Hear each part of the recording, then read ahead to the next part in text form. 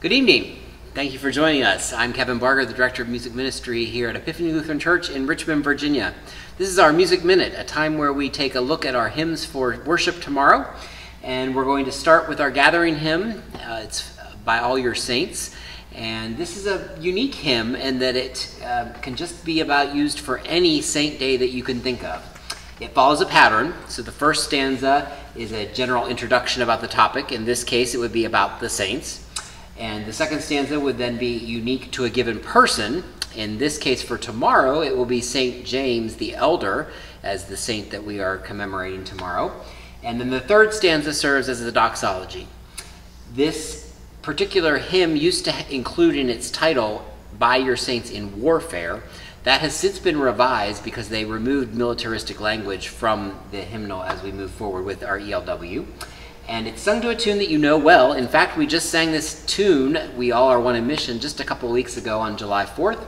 And today's version is a little bit different. I think the last time we did Music Minute was on the piano. This time we're going to do an organ version. And this is actually a song called Peace, which features the tune.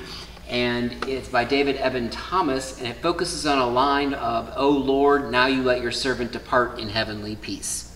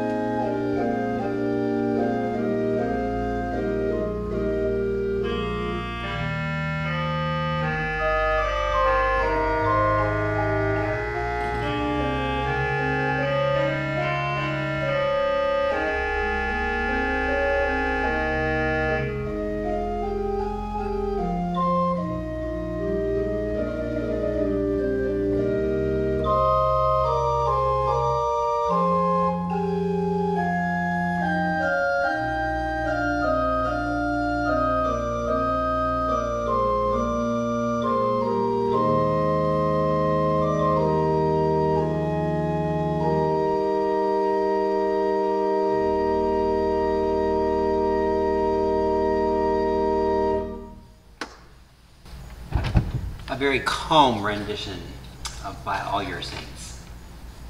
Our next hymn, our hymn of the day tomorrow, will be Will You Let Me Be Your Servant? And Will You Let Me Be Your Servant is a contemporary hymn, first appearing around 1989. The hymn serves as a universal address to all, and it also asks permission before service is rendered. Will you let me be your servant?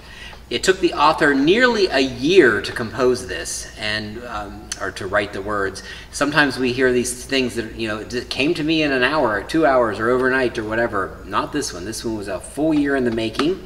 The composer of the tune is well decorated, having studied at the University of North Carolina and the Eastern Eastman School of Music, and she went on to receive an honorary degree from the Episcopal Theological Seminary in Alexandria, Virginia, as well as two other schools. Um, I don't remember what they both were, but um, three schools that she got honorary degrees from. So this is Will You Let Me Be Your Servant?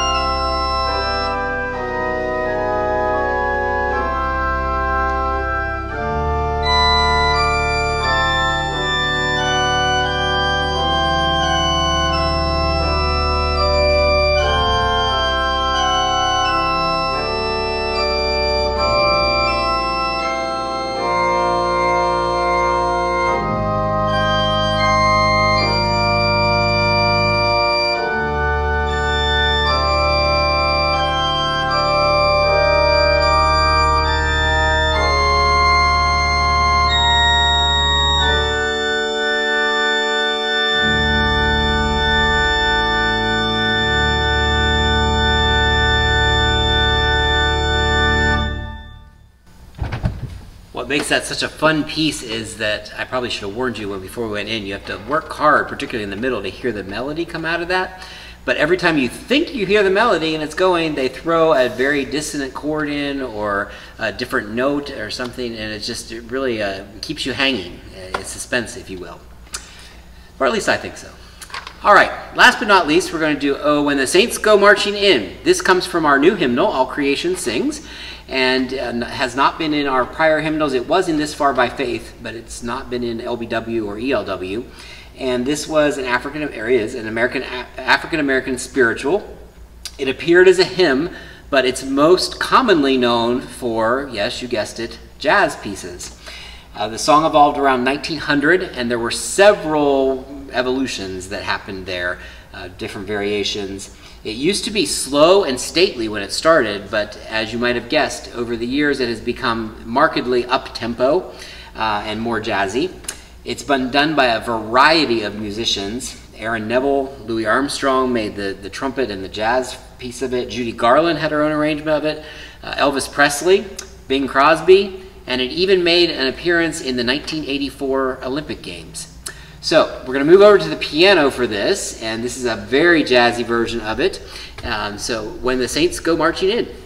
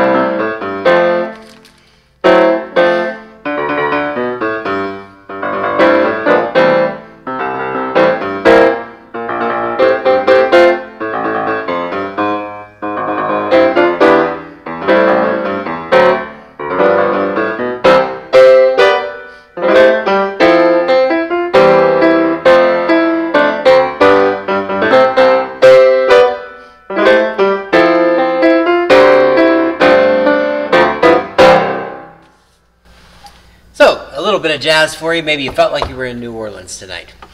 If you are joining us in worship tomorrow in person, that's at 8.30 and 10.30. And if you're online tomorrow, that's at 10.30 premiere on YouTube and Facebook. Thanks so much for joining us this evening. Hope you have a good night.